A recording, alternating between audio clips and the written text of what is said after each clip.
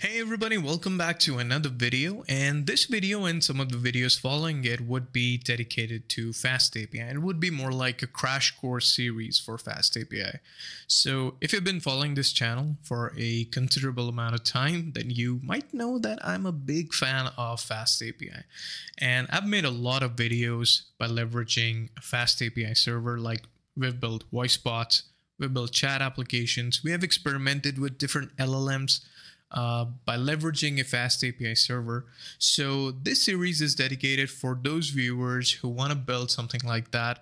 Uh, maybe they want to build a thin layer or a lightweight server for their LLM based applications, even for their SaaS products and different other use cases. So in this video, we'll be exploring how you can build an API endpoint for yourself. So when you talk about building an API endpoint, obviously you need to send in some data and you have to get some data out of the API, right? So we'll be exploring all those features like how to add query parameters, how to add path parameters, how to uh, you know work around with optional parameters, and what it takes to build a lightweight fast API server. All right, so to get started, you need the Fast API package first. So you can install it by typing in pip install and Fast API and that's it. Uh, it's going to install all the uh, FastAPI packages and its dependencies that you need. I already have it installed, so I don't need this step. Uh, so I have made a folder, learn FastAPI, and I have my Python file in place. All right, so the first thing you need to do, you need to import the package. So I'm going to say from FastAPI, import fast API.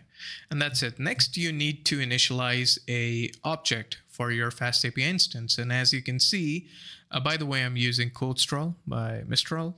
So uh, it's a great tool. If you haven't seen the videos around it, uh, I would definitely recommend that you hook it up within your VS Code. It really boosts up your productivity.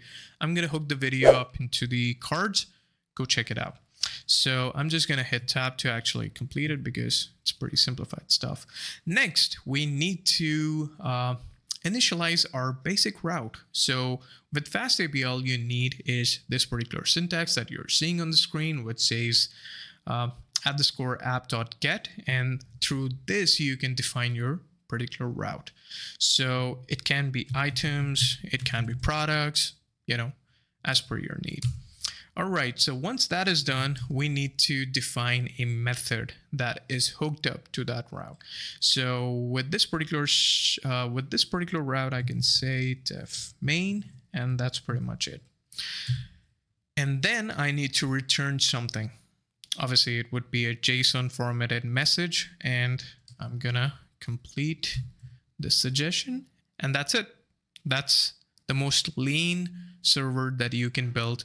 And we've just done it like within two minutes. So it's great. So let's go ahead and run it.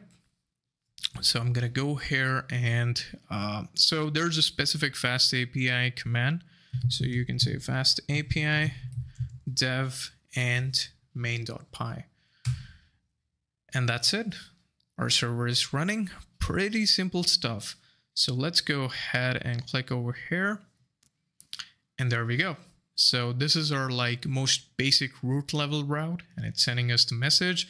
We also have the option to pretty print it. You can toggle this and you would get a nicely formatted JSON for yourself.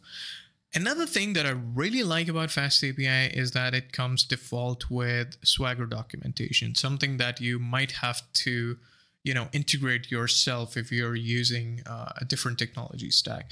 But with uh, fast api it comes as default. So you can type in slash docs and there you go. All your documents oh sorry all your routes would be listed within this particular document. So if you expand it and try it out and execute and there you go. Here's your message. Pretty simple stuff and awesome all right, so this was all about how you can create a basic route. But obviously, uh, when you're talking about building a lightweight server, uh, you need to build routes that are receiving some sort of a path parameter. So how can you do that? So let's type in app.get and then we have uh, this particular suggestion, which we can tweak. So let's say we, uh, we're building a lightweight server for products, you know, to list products or to get products, a list of products, or to store a particular product. So let's uh, phase our scenario around it. So for this particular case, I'll add in um, the word product and let's say the name of the product, that's fine. All right, next we need to hook up a particular method, which is def get product, and I'm receiving name, which happens to be a string. So pretty simple stuff. And then we can go ahead and return the product name.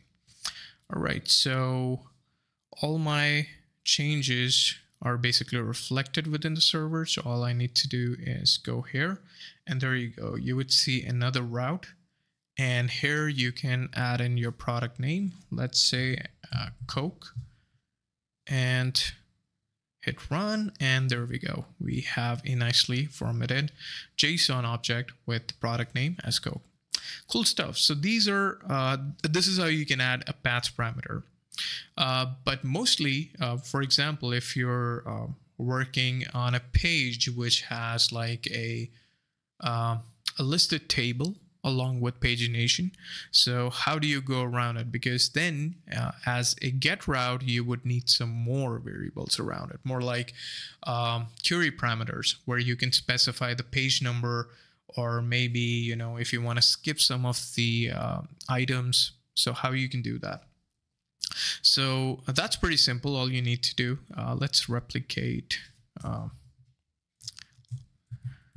all right, so um, no, I don't need price. What I do need is a method, which is get product, get listed products. Let's say get listed products. And I can add my name as a string over here. And then we can add a page variable, which happens to be an int. And once that is done, I can return the page and the product name as a JSON format, which is kind of cool. So let's go ahead to my Swagger docs and let's refresh it. Wait. Okay, since both of the routes are same, they're not being reflected over here. So it actually caught the last one, get listed product, but we don't want this behavior. So let's say uh, products, let's say products, just for time being. And okay, now we get this route over here and our previous route is maintained over here. So let's go ahead and type it. So we need Coke, not code, Coke, and page number one. And we hit run and there we go. This is our response for our product name and for particular page number.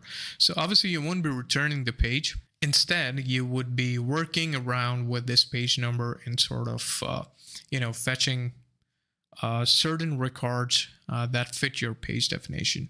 So, uh, but this is just an example. All right, you can also add uh, optional parameters, optional query parameters, something that you don't need to specify every single time. So there's a particular way for you to do that. Let's say I want to skip uh, some products uh, and how I can basically do that. So what I'll do, I'll add the skip part, uh, sorry, the name skip, and I'll say int because this would be a integer, and then I'll say none. And I can also initialize it with none to actually uh, direct my route that this is basically a optional parameter. So if I go here, okay, the changes are reflected. Let's say save. All right, so here within the get listed products, uh, as you can see, the name, it is required because it's a path parameter. Then we have page, which is also required, and it's a query parameter. And then we have skip, and it's kind of optional. It's not required, and you can specify this within your query.